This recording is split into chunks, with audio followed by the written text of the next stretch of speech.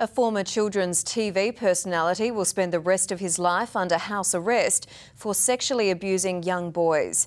Rick Marshall is too ill to spend his 25 year sentence in jail. Today, the judge described his acts as pure evil.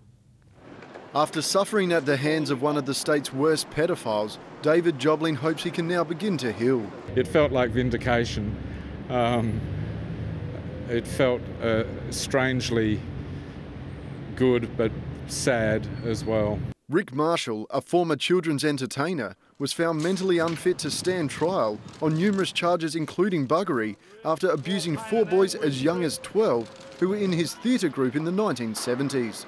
Justice Kevin Nicholson said the now 83 year old had access to a steady stream of young victims and was the mastermind of a group of pedophiles. It's incredibly shocking,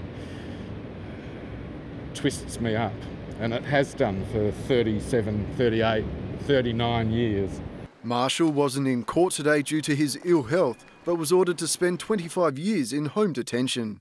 The judge described him as a truly bad person with no redeeming qualities, saying he was evil through and through, and rarely has he come across someone like Marshall before. Even though Marshall is essentially housebound by his illnesses, the judge refused to relax his strict home detention conditions, saying that it could further damage his already fragile victims. Tom Hicks, 9 News.